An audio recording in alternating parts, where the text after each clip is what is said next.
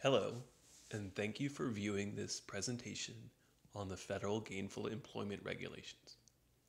In this presentation, we will provide a brief overview of the regulation itself and provide some useful advice for administrators to help ensure institutions are meeting their obligations under this regulation. It is important that we understand the regulation itself, and in order to do that, we will need to take a quick look at the history of the regulation. Gainful employment was first introduced by the Department of Education in 2010. The regulations were modified due to a successful legal challenge and were fully implemented in August of 2015. What is a gainful employment program? For the purposes of the federal regulation, a gainful employment program is any program offered by a for profit institution and any program that does not lead to a degree at a nonprofit institution. All certificate programs are likely to be classified as gainful employment programs. The gainful employment regulations require institutions to annually disclose and report on any gainful employment programs that they offer. Disclosure means that institutions must prominently display information about occupations that programs are likely to lead to, as well as annual completion and progression rates and student indebtedness. These data must be disclosed on the pro- program's public website. Gainful employment also requires institutions to annually report data regarding student time to completion, loan balances, and employment. Programs that do not result in gainful employment, as measured by students' loan repayment habits, face a series of interventions from the department.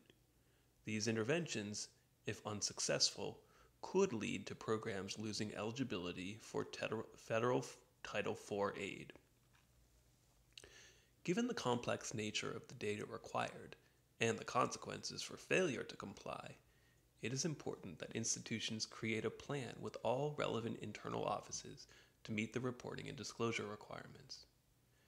Offices as diverse as financial aid, the registrar's office, the bursar's office, the academic dean's office, institutional research, and others need to be aware of the requirements and their role in the coordinated effort of meeting them. Of course, the gainful employment regulations were not designed simply in order to give administrators more work to do. Their purpose is to ensure that students are enrolled in programs that are going to lead to positive economic outcomes for students. While internal stakeholders will be involved in generating the data, continually meeting the challenge of gainful employment will require coordination with external stakeholders as well. In thinking strategically about the gainful employment requirements, it may be helpful to think of the process as a three legged stool. Institutions must engage with students to ensure that programs are available and provide the appropriate training. Internal offices to ensure that data is being developed and presented properly and that programming offerings are robust and dynamic enough to allow programs to meet the demands of gainful employment. And finally, local businesses, employers, and policymakers in order to ensure that program offerings suit the needs and vision of the community at large.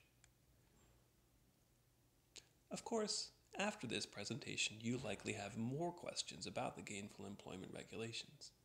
To get more information, a good starting place is the Federal Student Aid Gainful Employment website. You can access that at the URL on your screen. Thank you for viewing this presentation and best wishes as you navigate the challenges of gainful employment.